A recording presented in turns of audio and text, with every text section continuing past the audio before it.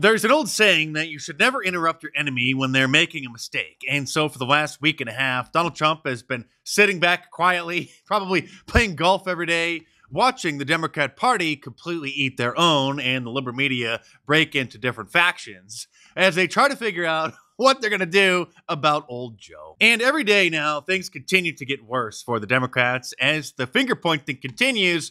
But perhaps the craziest excuse of all comes from Missouri Congresswoman Cori Bush, who has this theory about what happened. Congresswoman, can you describe the temperature in the room? Biden right now. Right now, the same right-wing influences that are that are trying to, to take me down are trying to take down President Biden. So that's where my head is. But I'm listening to my colleagues and I'm listening to my constituents. At the end of the day, we got to beat back these right-wing influences. it's the right-wing influencers who are to blame now. They can't agree on what happened. They can't agree on what to do. They can't agree on who to blame. Joy Reid, the angry black woman over on MSNBC, however, is pointing the finger at fellow Democrats, but not just ordinary Democrats. You know what kind of Democrats. But please, please, privileged, rich, white elected Democrats, you just Oh, keep oh, public. oh, it's the white Democrats who are behind this whole mess. But please, please, privileged, rich, white elected Democrats, you just keep publicly defenestrating your party leader and president to feed the media thirst for Democrats in disarray stories because you're scared for your own seats and apparently don't know how to campaign on a surging economy, high tech jobs, and $35 insulin. I mean, you're, you're the most important thing here, right? You and your donors, of course, not the actual voters in your party base who can't afford to see prices double on everything they buy due to Trump's China tariffs and who would be the first ones fired from their federal civil service jobs under Project 2025 or Now that's a professional gaslighter right there, pivoting from talking about old Joe's obvious mental incapacitation and putting the spotlight back on Donald Trump and blaming him for everything. Joy Blowhard and Joy Behard over at The View got the same memo as Joy Reid. Welcome to the show. Very nice to have you here. So everyone's talking about President Biden's uh, debate performance. As I pointed out, the other guy was even worse, in my opinion. I'm, babbling and not making sense and lying. So that's the narrative behind the pro Biden camp is to just pretend that he didn't really do that bad at the debate and it was actually Donald Trump who couldn't finish a sentence and lost. Stephen Colbert hasn't decided which faction he's going to support just yet the old Joe faction, the Kamala Harris faction, or the Gavin Newsom's faction. And instead is just expressing his severe frustration and utter shock at what's happening. Then Joe assured the governors that he knows what went wrong, saying he needs more sleep. Yes, he is what experts call tie tie. I guess you could say he's Sleepy Joe. Donald Trump was right.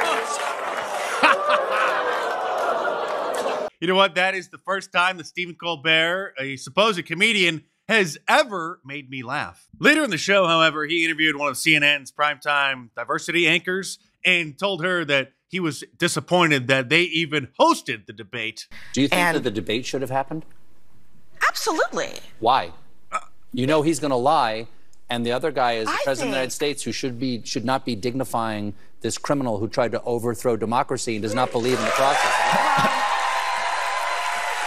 I, I absolutely, I think the American people need to know what they're getting. But they from already these know they've both been president of the United States. But you would it's be- not like one of them is a mystery. No, Mr. Colbert, half of the country obviously didn't know what they were getting because they believed the gaslighting coming from the liberal media industrial complex that old Joe was just fine until they saw the emperor had no clothes with their own eyes. look, if we finally beat Medicare, While Stephen Colbert is leaning towards the Stand with Joe faction, Jon Stewart, the former comedian turned liberal propagandist who is guest hosting The Daily Show once or twice a week on Comedy Central through the election, is with the Biden must resign faction and did an entire rant venting his frustration that he hasn't stepped down yet. Authoritarianism and Donald Trump aren't the only threats our democracy faces. An arthritic status quo, unable or unwilling to respond in any way to the concerns of voters who just received new and urgent information about their candidate, also erodes confidence and faith in the system of government.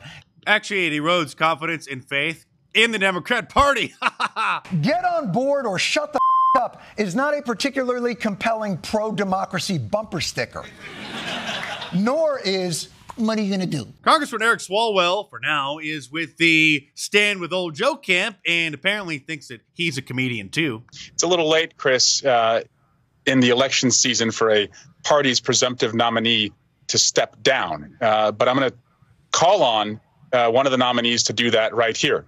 Uh, Donald Trump should step aside. He's a convicted felon, owes hundreds of millions of dollars for fraud, tried to run a coup on his country. There are people in this country who are less cruel and more competent who could do the job probably 350 million deep. And so that's the person who should be stepping down. I keep forgetting that Donald Trump has been indicted and even convicted by a kangaroo court on these bogus charges because that's how little they matter. Stay tuned because there's more to come in this video, but real quick, that's why I released my Teflon Don 2024 shirt, which you should order from my online store, markdice.com click the link in the description below. Others at MSNBC, however, are publicly plotting the coup against old Joe and strategizing on air about how they can force him to step down. So he gets mm-hmm. through today. Now a NATO summit takes the middle of the week.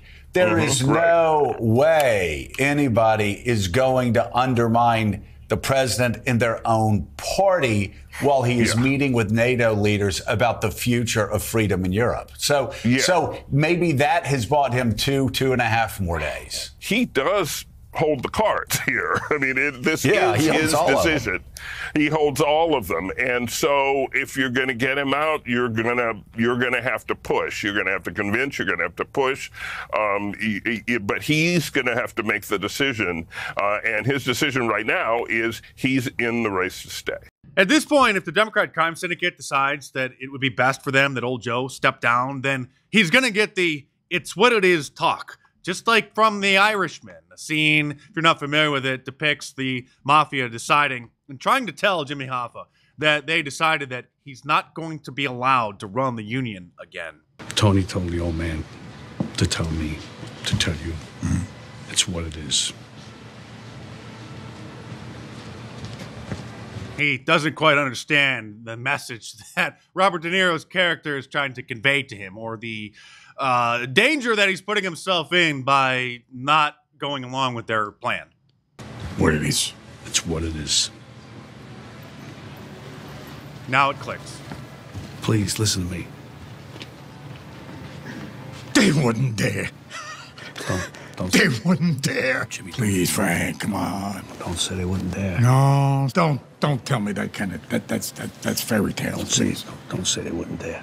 Obviously, they did dare. And of course, I don't wish any harm against old Joe, and they probably wouldn't even go to that extreme in order to uh, send him a message. There are still other tactics that they would deploy, but that's how serious these people are. Karine Jean Pierre's job it is to defend old Joe. She gets paid almost $200,000 a year to stand in front of the American people and lie on a daily basis, is so exhausted and demoralized from trying to defend the indefensible that she can barely even get through a press conference. So, say that the Pentagon at some point picks up an incoming nuke. It's 11 p.m. Who do you call? The First Lady? He has a team that uh, lets him know of any of any news that is pertinent and important to the American people.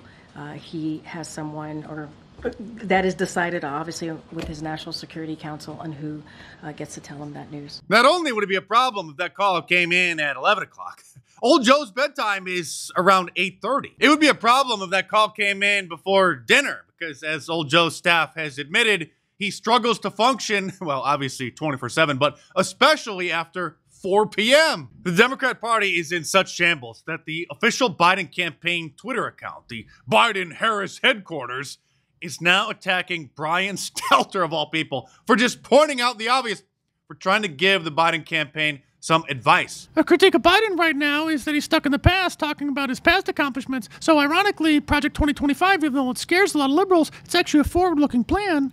Biden would benefit from talking more about what Trump is proposing and what the Heritage Foundation wants to do, and to contrast that with his own plans for the future rather than talking about the past. He literally was just trying to help them, but they didn't understand. And so now they think that Brian Stelter, of all people, is siding with the Trump campaign. Meanwhile, this Brian Stelter doppelganger has coined a new nickname for old Joe that he thinks is going to help. The bottom line is, I'm going with Joey Jobs over Donnie Do Nothing any day of the week.